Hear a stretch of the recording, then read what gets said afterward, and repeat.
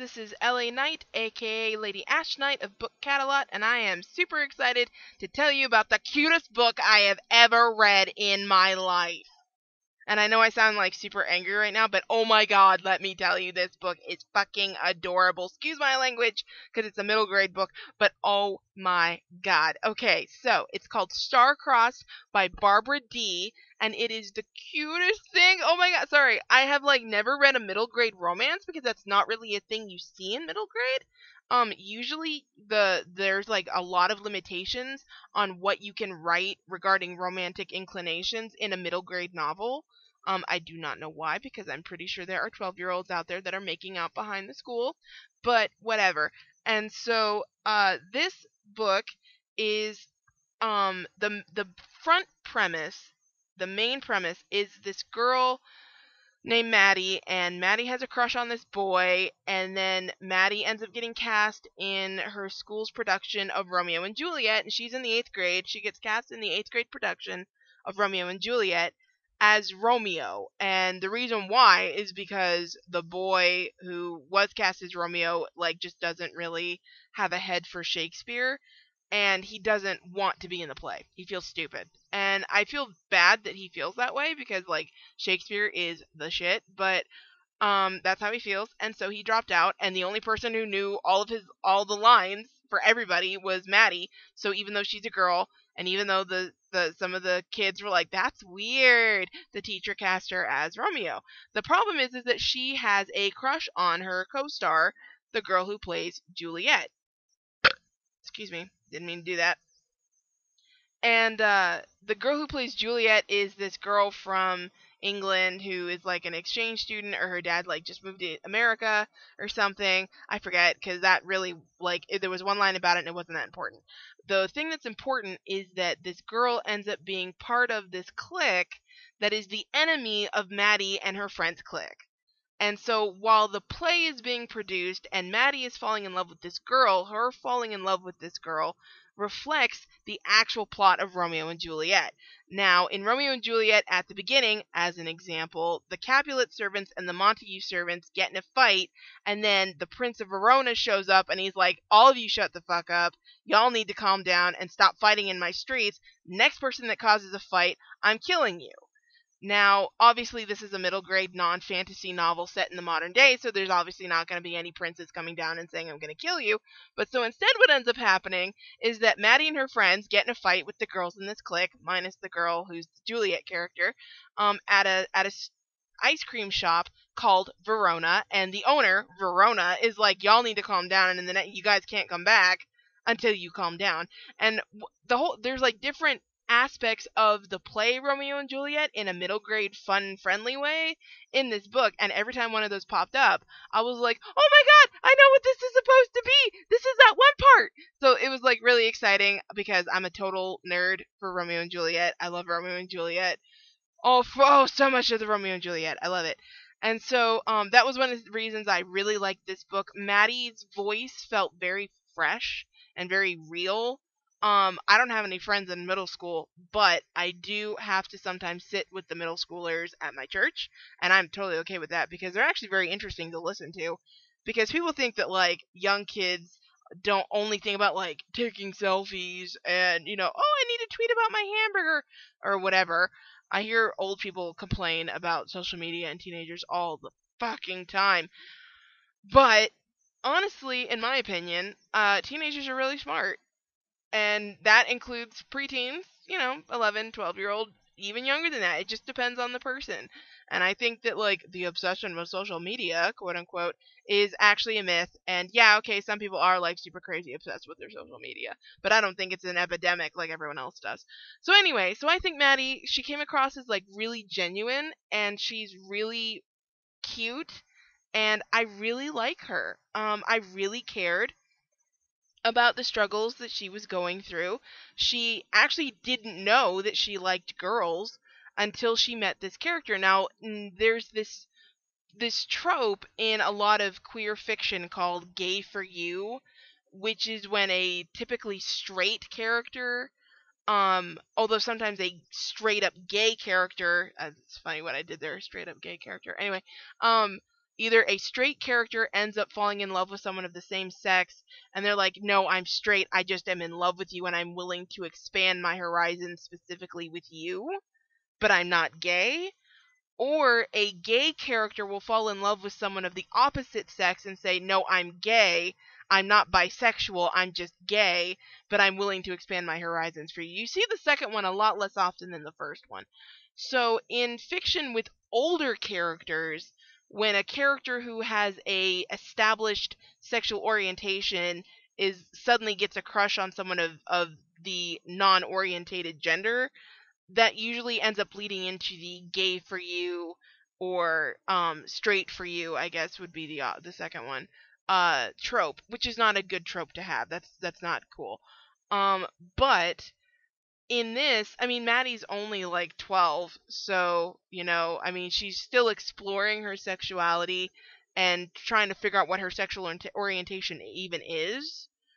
And um so she and she doesn't have that like that like er, resistance to the idea that she could be bisexual. They don't use the word bisexual, but it's very obvious that like she's open to considering that she likes boys and girls um, but the only her only resistance to the idea that she might like a girl, and I really like this actually, is not that there's anything inherently wrong with her liking a girl, but she doesn't want other people to find out because she doesn't want people to treat her funny. And at at 12, 13, I didn't have that problem because people were treating me funny anyway. But I that was actually the one secret that I did keep about myself. I was very open about the fact that I grew up in a very strict Baptist area.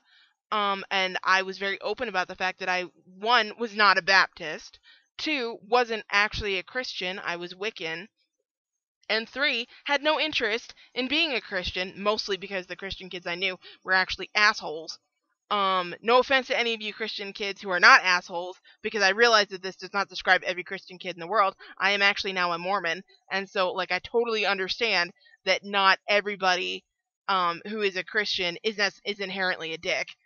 Um, but most of the kids that I knew at the time were. And so I was very open about the fact that I was not a Christian. I was very open about the fact that I was mixed race. I'm um, part Apache, part black. I'm like I'm mostly half white, half black, with some small smidges of Creek and Apache Native American. Um, Apache from my mom's side, Creek from my dad's side. Ironically, that's kind of interesting, I think. But um, and so like I was very open about the fact that not only was I mixed, but I was proud of the fact that I was mixed, and I refused to have to choose between one or the other, which was something that the kids that I knew made me do or tried to make me do. They tried to be like, you can't be black and white. You have to be black or white. And I was very adamant and vocal about the fact that no, I was both. Um, I was very adamant and vocal about the fact that I was not a Christian. I was very vocal about pretty much everything in my life except for the fact that I was bisexual. I kept that a huge secret because I knew if that came out, it was going to be a whole big thing. I lived in Montgomery, Alabama, in 1998. It was going to be a whole big thing, and even the teacher allies and kid allies that I had just barely at that point were going to flip their shit. I knew it. And so when Maddie is like, "Oh my god, please don't tell anybody cuz her friend figures it out."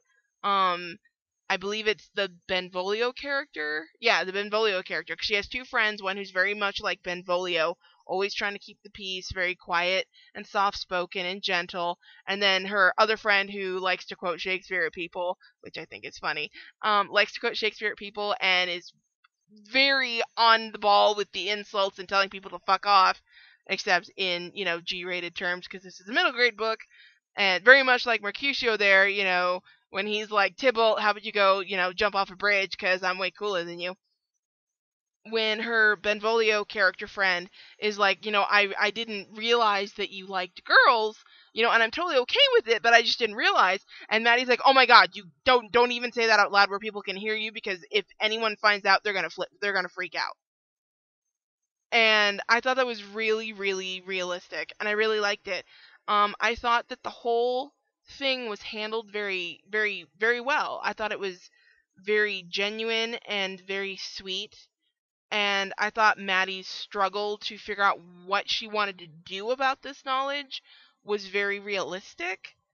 Um, I thought that the romance aspect was one very cute. Oh my god, it was so cute.